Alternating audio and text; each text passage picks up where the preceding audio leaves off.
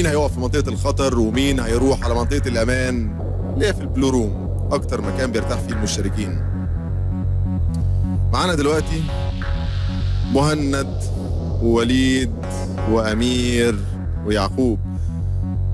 خيرة الشباب الصراحة يعني. أربع شباب أربع أصوات قوية جدا.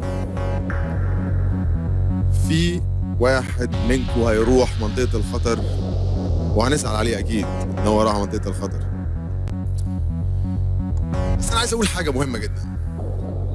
إن النتائج اللي إحنا بنقولها مش هي الترتيب النهائي للمشتركين. ده الترتيب الوحيد اللي إحنا بنقوله وهو الناس اللي حصلت على أقل نسبة تصويت. وبنقول آخر حاجة مين هو اللي حصل على أقل نسبة تصويت؟ دلوقتي خلينا افكركم كده اللجنه قالت عليكم إيه؟ مهند.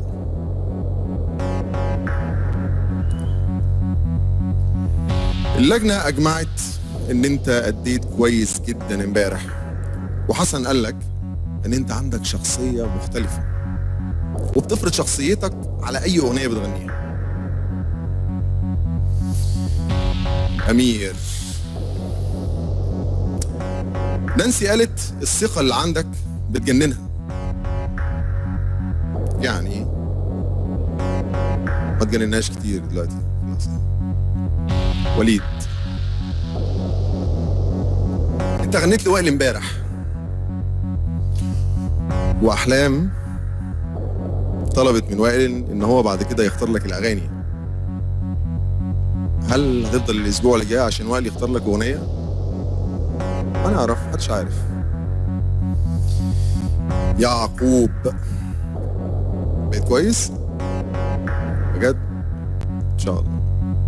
يعني اللجنة قالت إن أنت كنت ملتزم بالمسؤوليه اللي عليك إن أنت غنيت كويس إمبارح رغم إن أنت تعبان وعملت اللي عليك الصراحة وكلموا عنك كويس كمان. ده كان رأي اللجنة. بس يا ترى إيه هو رأي الجمهور؟ واحد منكم أنتوا الأربعة هيروح على منطقة الخطر وثلاثه هيروحوا على البلو روم اللي هي منطقة الأمان. الاسم اللي أنا هقوله دلوقتي هو اللي هيروح على منطقة الخطر. معنى كده إن هو أقل واحد حصل على أقل نسبة تصويت من المجموعة دي. مش بس من المجموعة دي من مجموع 12 مشترك.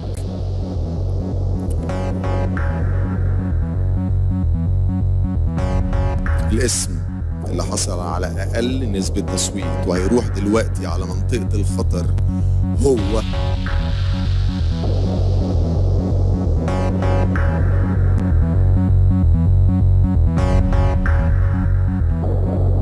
وليد بشارة من لبنان.